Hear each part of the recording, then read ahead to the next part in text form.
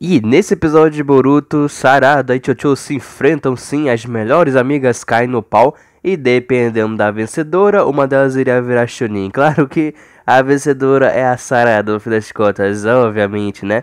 Vamos lá comentar sobre o episódio novo da semana de Borutinho, o episódio 225. Mas antes, se você é novo por aqui, seja muito bem-vindo para o meu canal, se inscreva.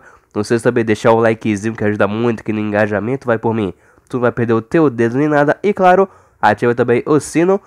Seu pé de novo vídeo novo de Boruto bem aqui no canal. E tirando logo o elefante da sala, até que eu curti esse episódio, cara. O confronto em si entre a Sarada versus a Chuchu não foi muito falastrão quanto foi o episódio anterior. E a animação também, principalmente no ápice do combate aí das amigas, estava muito bonitinha, velho, a animação. E esse episódio praticamente temos um desfecho ali envolvendo a trama do amado, que eu pensei que era uma coisa, mas na verdade é outra mais comum. Já já eu comento sobre aquela trama no decorrer do vídeo, mas no geral eu curti o episódio 225, hein? Nada mal, nada mal. Esse episódio, claro, que é o penúltimo episódio desse novo arco dos novos exames Chunins, ou seja, próximo episódio 226 esse exame Chunin, ó, acaba toda a saga, acabou, meu amigo.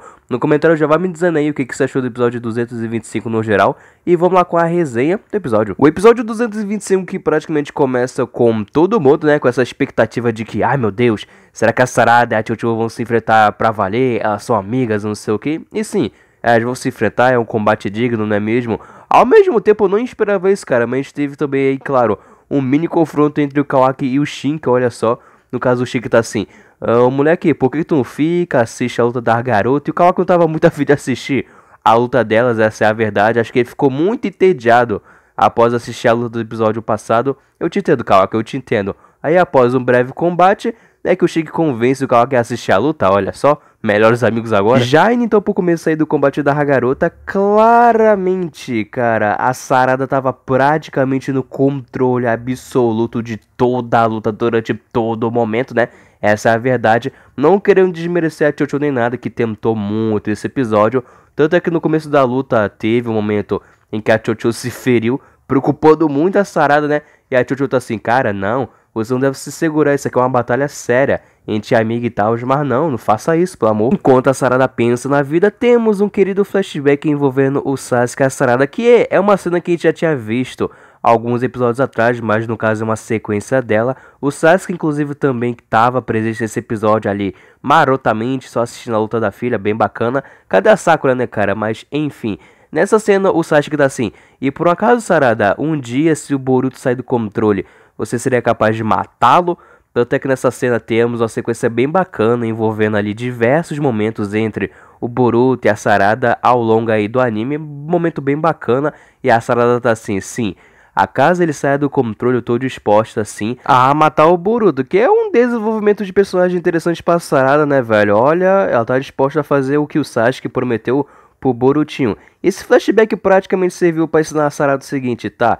Se eu tô disposta a matar o Boruto, um amigo meu, eu também tô disposta a lutar com tudo contra a Chocho, que é uma amiga minha. E aí sim o combate entre elas fica muito mais sério e muito mais acirrado. Tanto é que a gente vê a Chocho usando seu modo de borboleta, a transformação dela.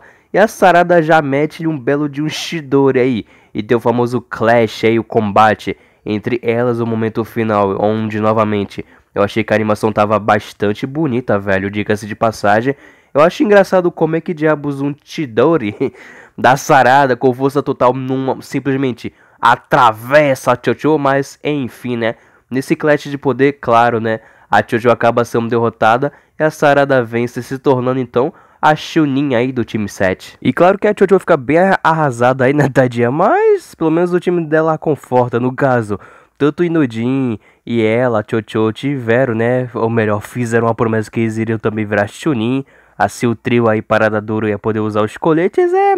Fica pra próxima, né, meu filho? E então a gente corta aí pra trama do Amado, Boruto e Mitsuki, a galera, e a gente tem uma resolução sobre essa cambada que acabou capturando o Amado, que eu e acredito que a maioria das pessoas estava achando que essa cambada são membros é, externos da cara, mas na verdade não.